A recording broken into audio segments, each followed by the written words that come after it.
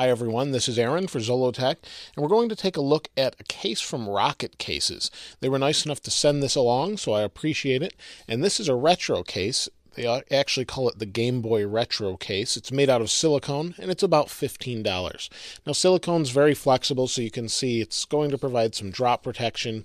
It should be pretty durable, and it does pose a few problems though. So, if you slide the phone in here, I do have a screen protector on the front, so it doesn't really have an issue there unless you have one of the uh, wet applicated screen protectors, such as maybe a Zagg or Best Skins Ever. Sometimes it will peel it up on the sides a little bit. Now, one of the things to note that my wife actually used this for probably oh about a month so she gave me a few different things she ran into and using it you pick it up and it kind of bends but that's pretty pretty typical for a silicone case this part here, when you go to grab the button, sometimes you hit your thumb over it and you have to move it out of the way to push the button. Pretty minor since it's a flexible case and it looks pretty cool on the back. So you've got a Game Boy, it reminds me of when I was a kid playing these. It's pretty neat.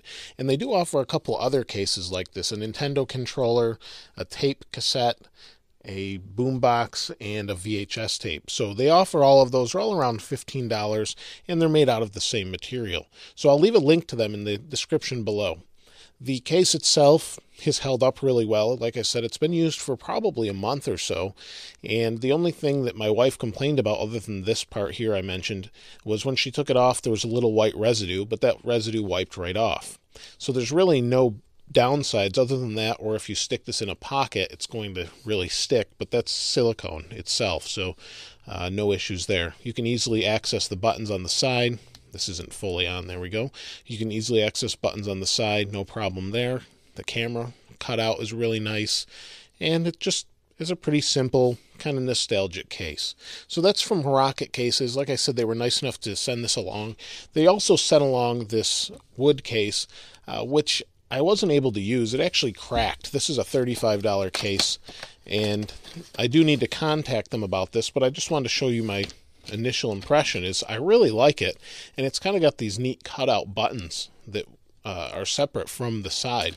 But when I went to slide my iPhone in, it actually cracked the edges. And I don't know if that's because it's really dry in the winter here or what, but uh, definitely a concern. And uh, I'll be talking to them about that. But I wanted to kind of give you an honest review of what I what I found when I got this. It's really a neat case and it's pretty inexpensive for a wood case, so I'd love to see more of these, but thought I'd share that with you. So if you've used any of these cases from Rocket Cases, please place those in the comments below. I'd love to hear what you have to say about them. Uh, I think they're pretty nice and they've got some neat designs, so definitely worth checking out if you're into that. If you have any questions or comments, please place those in the comments below. And as always, thanks for watching. This is Aaron. I'll see you next time.